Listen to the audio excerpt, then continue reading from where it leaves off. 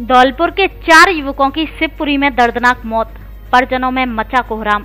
हादसे में चार भैंसों की भी हुई मौत, चारों थे पशुओं के व्यापारी।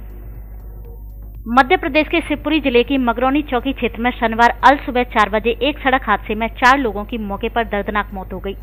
इस हादसे में चार भैंसों की भी मौत हुई है। सूचना के बाद मौके पर पहुँची मगरौनी चौकी पुलिस ने शव को नरवर पोस्टमार्टम हाउस के लिए भेज दिया। मरने वाले चारों युवक आपस में रिश्तेदार हैं।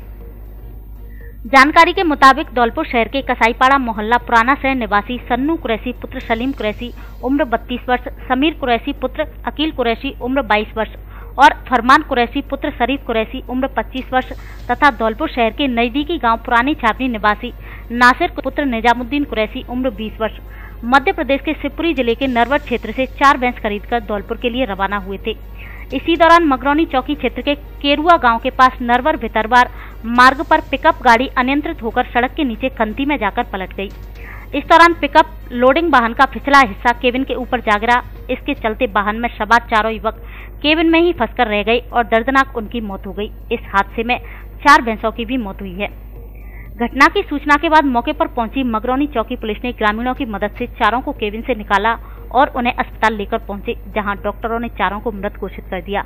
नरवर चौकी प्रभारी दीपक शर्मा ने हादसे की पड़ताल शुरू कर दी है। वहीं घटना की सूचना के बाद मृतकों के परिजनों में कोहराम मचा हुआ है। जानकारी के अनुसार चारों मृतक युवक भैंसों के व्यापारी थे। मृतक सन्नू अपने पीछे छह छोटी बेटी और तीन छोटे बेटे छोड़ गया है। मृतक सन्नू और समीर रिश्ते में आपस में मामा भांजी हैं। समीर के पिता की पूर्व में ही मृत्यु हो चुकी है। समीर के परिवार में एक छोटा भाई और एक छोटी बहन है। परिवार का लालन पालन समीर ही करता था, जिससे अब समीर के परिवार के सामने रोजी रोटी का भी बड़ा संकट खड़ा हो गया है।